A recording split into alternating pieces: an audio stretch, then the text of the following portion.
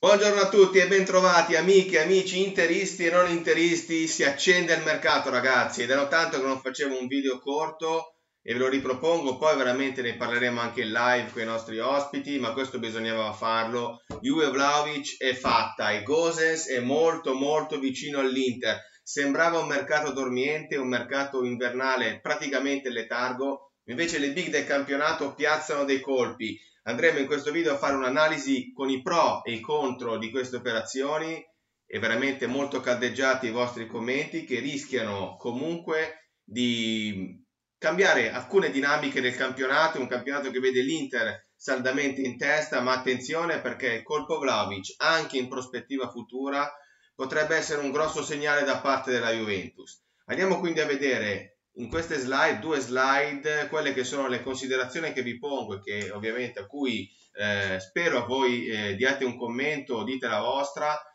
Dusan a Torino, cosa cambia per la Juventus? Innanzitutto è un'operazione che mh, mm, dovrebbe essere addirittura d'arrivo, l'ufficialità addirittura tra poche ore o comunque a, a, pochi giorni, visto che sono già state prenotate le visite mediche per Vlaovic a Torino. Allora, Dusan è uno tra i top centravanti under 22, meglio di lui chi c'è? Holland, poi facciamo altri nomi, in Italia sicuramente Vlaovic per questo segmento di età è superiore ai vari Scamacca, ai vari piccoli, ai vari Luca, è un giocatore che il primo anno da titolare alla Fiorentina ha fatto più di 20 gol, quest'anno ne ha già fatti 16, quindi può benissimo superare ancora una volta i 20 è un giocatore che è completo dal punto di vista del, del bomber della di rigore, dell'identikit del bomber di rigore perché ha potenza, ha una buona tecnica, riesce a difendere bene il pallone ma soprattutto riesce a segnare in ogni maniera, anche con lo scavetto abbiamo visto, col destro, col sinistro, è un rigorista anche eccellente, quindi è un colpo che la Juventus fa e che dà un segnale secondo me molto forte anche alla concorrenza.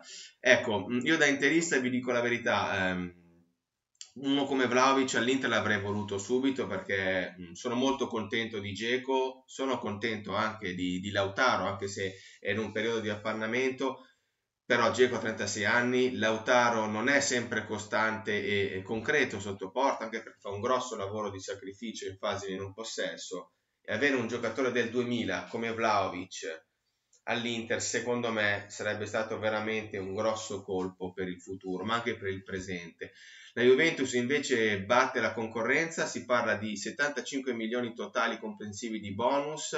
in un'operazione da 65 più 10, poi vedremo le cifre quando ci sarà l'ufficialità e discuteremo anche delle modalità di pagamento del contratto che la Juve farà a Vlaovic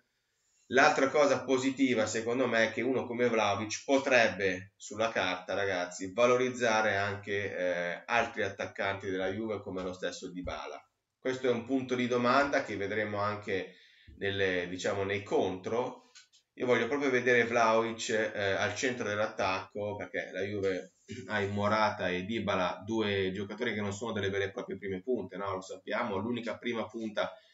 vera e propria ma che può giocare anche da esterno è Ken. Vlaovic porta in sé un bottino di gol e, e di presenza in area determinante. Vedremo se ne beneficerà anche uno molto tecnico come Dybala che potrà in qualche modo girargli attorno.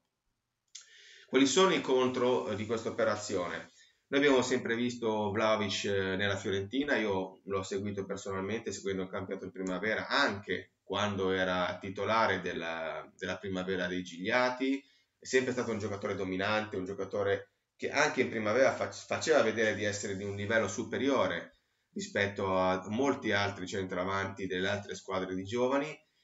però chiaramente il salto in una grande squadra come la Juve, dove sarai tra virgolette uno tra i tanti, certo per quello che viene pagato Vlaovic può essere già considerato uno dei top della Juventus, però è del 2000, si troverà in uno spogliatoio con dei senatori che hanno vinto tanto e sappiamo anche alla Juve come ci siano delle gerarchie da rispettare importanti.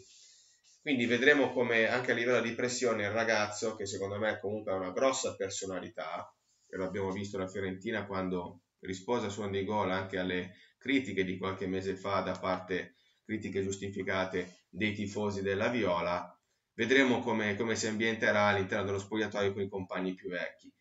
Chiaramente quello che secondo me è il punto principale eh, di domanda è l'organizzazione di gioco della Juve. È vero che Vlaovic è un giocatore che la Fiorentina era l'unico terminale offensivo, però è anche vero che prima ehm, di venire alla Juventus chiaramente aveva un gioco che era finalizzato a lui, solamente a lui, quindi lui aveva tutte palle disponibili, tra l'altro io le partite della Fiorentina ne ho viste, ne ho viste alcune, in alcune partite ad esempio eh, anche contro, stessa, contro, la stessa Inter o contro la Juventus ci sono state delle partite in cui lui non ha visto palla, quindi è un giocatore che bisogna vedere un contesto, un'organizzazione di gioco diversa come quella che ha la Juventus, che secondo me dal punto di vista del centrocampo eh, ha abbastanza lacune, quindi una squadra che è in ricostruzione e che secondo me prioritariamente dovrebbe pensare a ricostruire il centrocampo.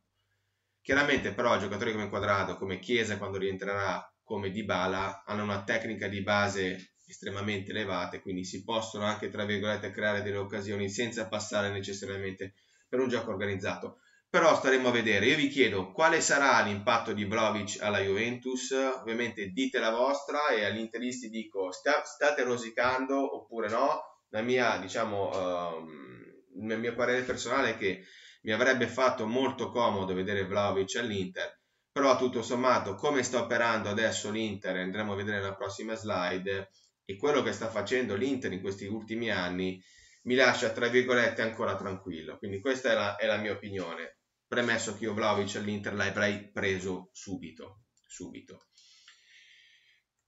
Per l'Inter la priorità a questo punto con il colpo Gosens è la, la fascia sinistra, eh, Robin Gosens eh, lo abbiamo detto anche quando mh, facciamo il video sui terzini, per me è uno dei migliori interpreti non solo in Italia ma anche in Europa del ruolo di quinto, l'ha fatto con Gasperini, all'Atalanta ha fatto nelle ultime due stagioni più di 40 partite tra Coppa Italia, campionato e Champions e più di 10, 10 12 gol. Quindi ragazzi è un esterno sinistro che va in doppia cifra. Conosce benissimo il ruolo, il 3-5-2 di Gasperini che è diverso rispetto al 3-5-2 di Inzaghi, però bene o male le, le mansioni che vengono chieste a Gosens possono benissimo essere anche adattate al, al, modulo, al modo di giocare di Inzaghi, che è lo stesso modulo del Gaspa. Bottino di gol in dote, l'abbiamo detto, 10-12 gol, ragazzi, uno che si inserisce senza palla, mi ricordo un gol che fece a San Siro, no? sbucando alle spalle della difesa, è un giocatore che tira al volo, un giocatore che si inserisce, che segna anche di testa, è un giocatore secondo me che ha una buonissima uh, propensione alla fase difensiva, non solo perché è difficile da saltare nell'uno contro uno, ma perché è anche bravo nelle marcature preventive. Questa è una cosa molto importante, ragazzi. Io ho visto dei, dei confronti, ad esempio, con Teo Hernandez, che è devastante quando pal- parte palla al piede no, a tanto campo, mal che vada fa carica gli avversari di cartellini gialli, ma spesso va anche la conclusione, segna tanti gol anche lui. Però rispetto a Gosens è un giocatore che ha veramente tante lacune in fase difensiva e giocando con una linea di difesa 4 queste lacune vengono in qualche modo anche eh, nascoste. Gosens secondo me in fase difensiva è veramente un giocatore molto molto affidabile poi è maturo nel 94, quindi quest'anno a luglio farà 28 anni, ha già esperienza in A, gioca anche nella nazionale tedesca. Questo è il momento, diciamo, migliore per Robin Gosens per fare un salto eh, in una squadra che punta a vincere. Anche l'Atalanta per carità punta a vincere, ma con l'Inter sicuramente ha ad oggi molte più possibilità di sollevare qualche trofeo. Quali sono i, i contro? Innanzitutto il primo che quando noi parliamo di giocatori che vengono dall'Atalanta c'è sempre il, ehm, il dubbio questo giocatore fuori dal contesto DEA rende o non rende? Vediamo ad esempio Conti, che era un esterno destro, fece tanti gol una stagione alla Dea, fece quasi 10, poi comunque al Milan si è perso e non, non si è più visto. Oppure che sì, lo stesso che sì, che ci ha messo tanti anni per diventare un ottimo centrocampista, come quello che abbiamo visto nell'ultima stagione al Milan, lo stesso Gagliardini, mm, possiamo fare tantissimi esempi, quindi quando prendi un giocatore della, dell'Atalanta in quel contesto tattico e anche atletico con cui gioca la squadra di Gasperini, ci sono sempre dei rischi connessi. E poi la condizione fisica. Gosens ha subito una, una lesione al bicipite femorale, quindi uno strappo, pare essersi ripreso ma è stato fuori diversi mesi, per cui ehm, si parla di un suo ingresso, ritorno in campo a febbraio, vedremo metà febbraio, certamente la condizione fisica atletica per un giocatore che fa della corsa con e soprattutto senza palla uno dei, dei suoi punti di forza è un, um, è un fattore da tenere in seria uh, considerazione. A mio avviso eh, il colpo Gosens è un colpo ottimo anche perché si parla di poco più di 20 milioni di euro più bonus con un quinquennale da 2.5 milioni di euro netti a salire per il tedesco. Secondo me una, un prezzo buono per quello che si è visto nelle ultime operazioni fatte dalle principali squadre in Europa. Per me sì, può essere l'interprete ideale per il post Perisic, io lo preferisco addirittura Kostic che è più offensivo di Gozes ma è più vecchio e soprattutto non conosce il campionato italiano. Io vi chiedo, dite la vostra ragazzi sotto nei commenti, ci vedremo in live con i miei ospiti per discutere anche degli altri colpi di mercato quando il mercato sarà concluso, quindi mancano pochi giorni. Intanto in bocca al lupo a Stefano Sensi che andrà a giocare con Giampaolo alla Sampdoria. Io vi saluto ragazzi, buona giornata da Marco Zorro e state connessi, eh, che il calcio è il sale della nostra vita. Ciao ragazzi!